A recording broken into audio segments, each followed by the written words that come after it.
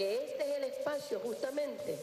Yo como ministra del Poder Popular para la Mujer es la primera vez que tengo la oportunidad de encontrarme con ustedes y quise, junto con ellas, construir este espacio de reflexión, de debate para la implementación de las políticas de nuestro ministerio. ¿Y cuál es nuestro objetivo? Que nos veamos en un espacio articulado. Para nosotras, desde el Ministerio del Poder Popular para la Mujer, la institucionalidad la conformamos el Ministerio del Poder Popular para la Mujer, que es el ente rector de las políticas públicas dirigidas a las mujeres, y lo conforman también los entes adscritos al Ministerio de la Mujer, léase Instituto Nacional de la Mujer, Banco de Desarrollo de la Mujer, ahorita en un proceso de, y la Fundación Madres del Barrio. Esos son nuestros entes adscritos.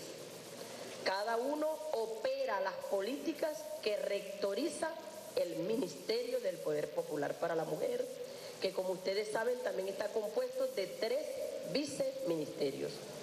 Nuestra institucionalidad entonces es el ministerio, sus entes adscritos, pero además lo son los institutos regionales de la mujer, los institutos municipales de la mujer y toda la construcción organizativa que nosotras y nosotros estamos impulsando.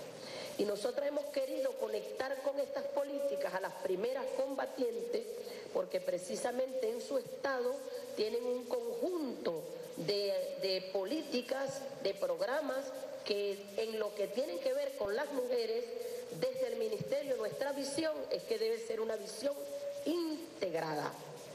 Nosotras estamos construyendo una patria socialista y dentro de la construcción del socialismo la fragmentación no cabe.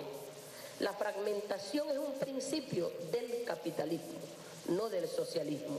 Entonces el llamado, los esfuerzos que hacemos, quiero decirles que lo hacemos también desde el propio ministerio, tomando en cuenta que el ministerio tiene entes que nacieron primero que el ministerio. El Instituto Nacional de la Mujer nació en 2009, las Madres del Barrio nació en 2006 y el banco, perdón, el ministerio nació en 2009. El Banco de Desarrollo de la Mujer nació en 2001 y la Fundación Madres del Barrio nació en 2006 y el Instituto Nacional de la Mujer nació en el 99 y prácticamente empezó a funcionar en el 2000.